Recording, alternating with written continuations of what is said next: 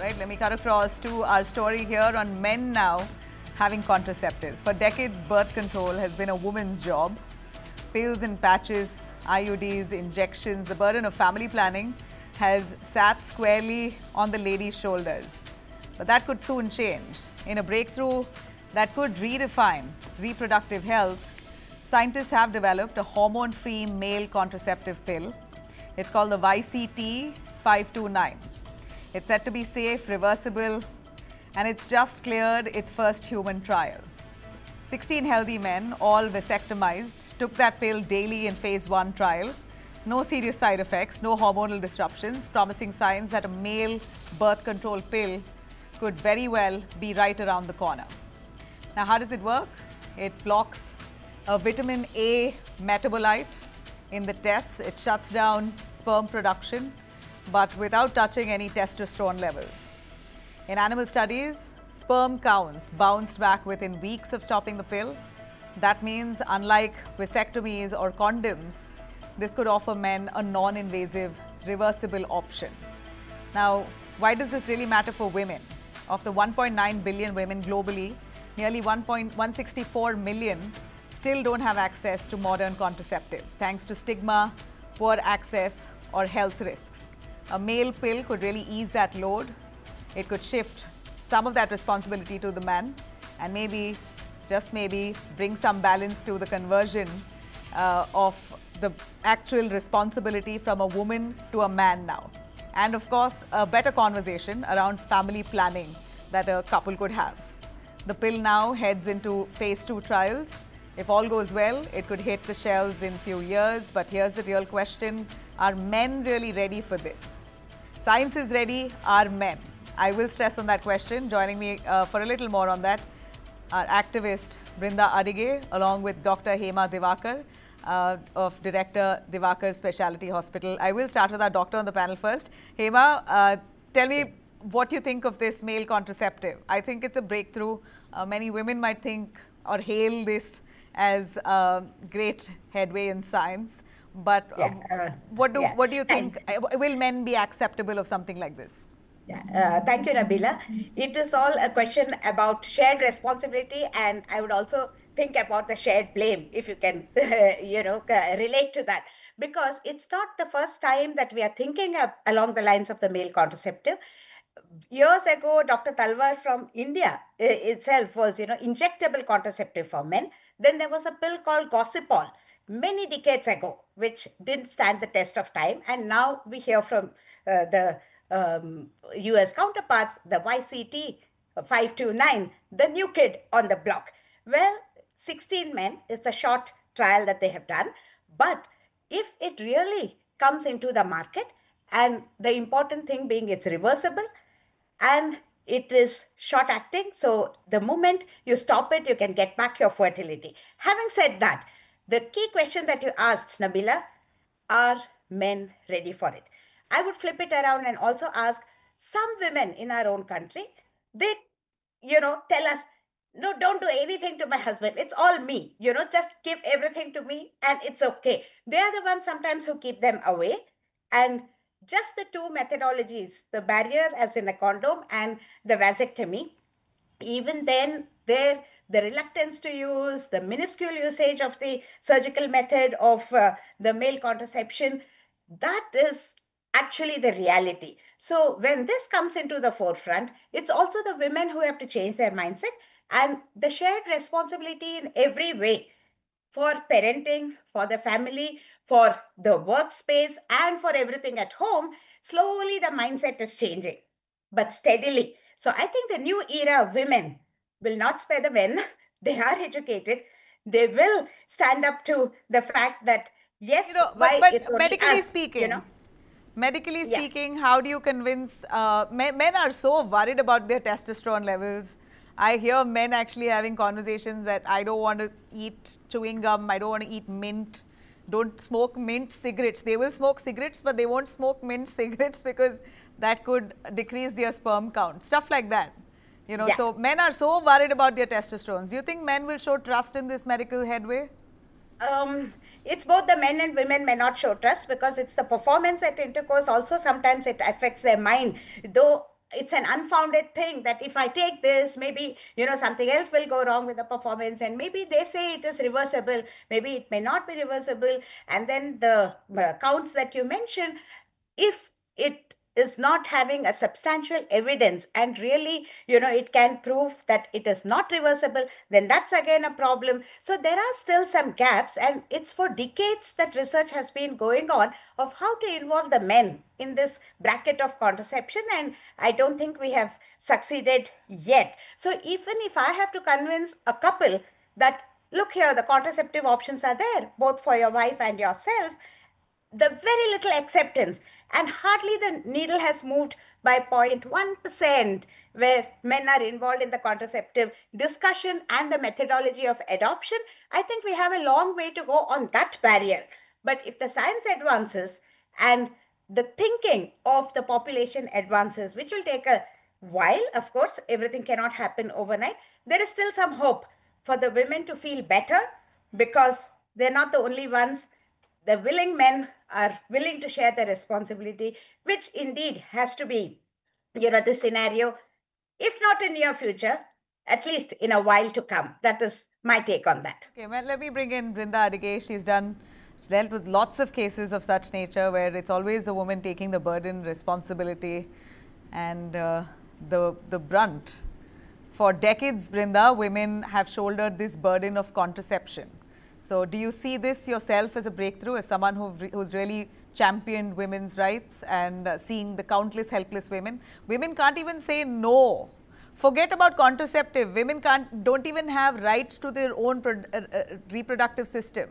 They cannot say no to another child. That's how much they fear saying no to their in-laws and their husband. In India, many other parts of the world, I'm not saying this is India alone, uh, but, but you know here and then then most often it's the it's the classic uh, statement it was a mistake.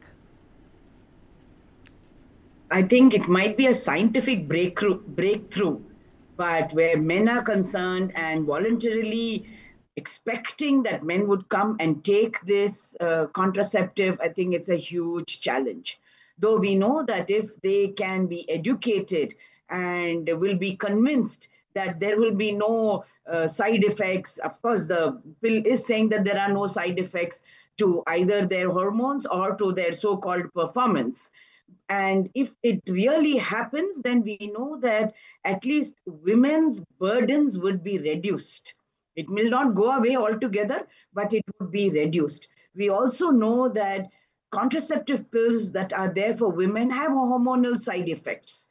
And it is an invasive uh, procedure also. Whereas in this one, all of that is not there. And I do hope that men understand that this is not going to do anything to their so called manliness or masculinity. But again, like uh, Doctor pointed out, it's going to take a long time because we know even today that over 90 to 95% of men don't know that a boy child is born because of the Y chromosomes in the men and so women suffer the brunt of you know two girl children three girl children and all of the other violence that comes with it. But that said i'm also looking at another part uh, which is also a serious concern especially in cases of uh, sexual assault abuse and rape. Uh, it is going to bring in a lot of challenges forensic challenges of course uh, legal social and ethical challenges. Because uh, we know that these are things that would be misused, sorry to use that word, uh, also because perpetrators are there out, uh, rapists are there, and we know that uh, people in positions of power, especially in institutions, or people who have control over children and women in some kind of a structural setup may also misuse something like this. And that there is no way for us to prove not that we are doing great just now, but at least there is a DNA to prove that yes, this was rape was uh, you know uh, I was subjected to rape and uh, consent was not taken, and no matter how many lies he says, there was a DNA that you could have proven. So that would become a big challenge uh, in the days to come whenever this happens. So we are looking at the government itself to look at healthcare policies and probably newer laws uh, to strengthen and safeguard women and women's positions and women's circumstances and situations in cases of sexual assault and rape uh, in, uh, in a situation where this pill may be used by whoever that is. But that said, I think it also helps women with unintended uh, pregnancies and uh, un, you know absolutely unrequired abortions. This would do a lot to our Indian population that's exploding. Uh, uh, no, irrespective of the population. I, I know, but I'm, I'm certain, Brinda, would you agree? Agency for the woman. Would you agree? Aren't we certain as women? I wish we had a man on the panel, you know, now in retrospect. Uh, apologies to our viewers and the men who are watching us. But uh, I'm certain a woman would never want more than three, maybe four. I'm giving them benefit of doubt, four children. But I know of women who have five, six. I'm largely talking about women who are uh, not fluent. Uh, they are not able to say no. I have a I have a lady who comes home every day. She tells me very clearly that she couldn't say no to the fifth child. It was by mistake and the in-laws insisted, so she went with it. And I've heard many of such stories and I hear them on a daily basis. So uh, I, how, where do you change the mindset? You know, we have a breakthrough in science, but can, will the attitude change? And should there be some kind of social conditioning that we should begin with today? Absolutely. Uh, I think, I think education slowly, is the primary step. Yeah. Uh, sorry, sorry. Sure, doctor, go on. Yeah. yeah, yeah, Brinda.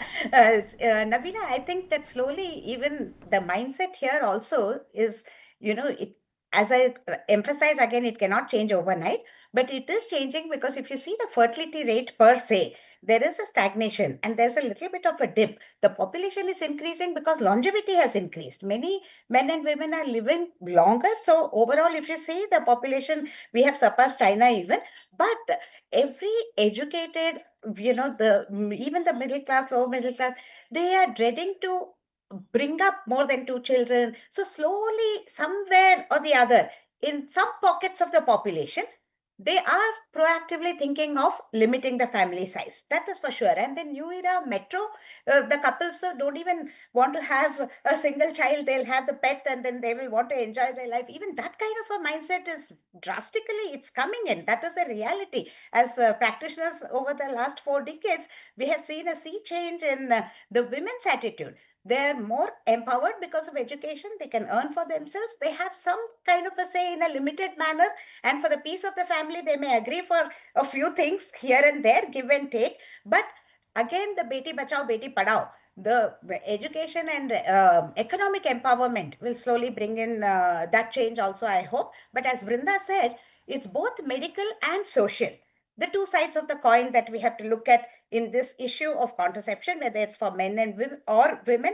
And in fact, I would think that if the contraception for men, that too reversible, comes into the market, then if the women are a little bit free from using the hormone pills which can, in the face of obesity and other comorbidities, they're having diabetes, hypertension, and they're forced to take the pill, it's a dreadful thing. And of course, there are other methods of contraception which have their own limitations.